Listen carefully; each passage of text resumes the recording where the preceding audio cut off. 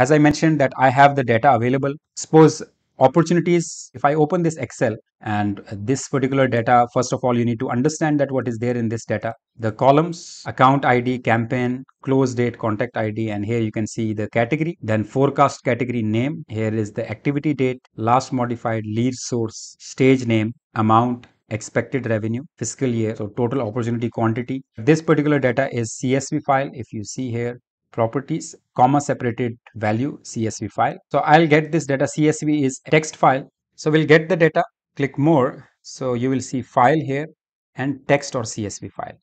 So I'll connect and here you can see in the sample data we have this opportunities and once you click it will automatically understand that what type of data set is there. You can directly load it or you can transform it. I'll click on load it will take some time to load the complete data and now 706 rows it has loaded. So first of all, I'll delete all these extra pages which were there.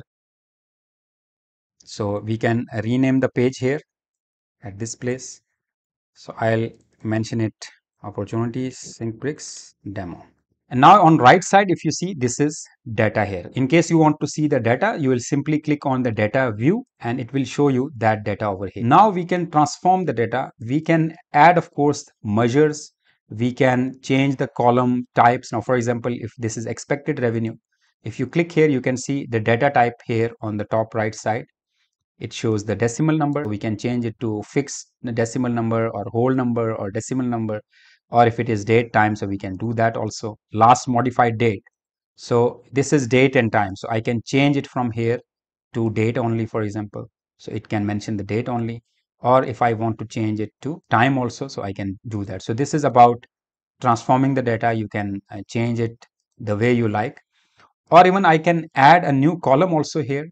If i right click here and I can add the new measure or new column. So which I'll explain you next. Now we'll not go to model view because there is only one table which is available right now. Uh, we'll go with the more complex data set also. But first of all, we'll go with this opportunities. So only one table is there. If I add a new measure, so measure name can be, for example, percentage. And here you can add sum of all the opportunities amount, sum of it could be uh, expected revenue. So maybe you want to calculate the percentage of expected revenue to opportunity amount. So you can add this new measure and of course in case you want to use percentage sign or whatever formula you want to have. So this is simple DAX function.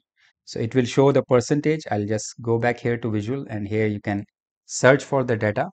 So this particular measure is added now here.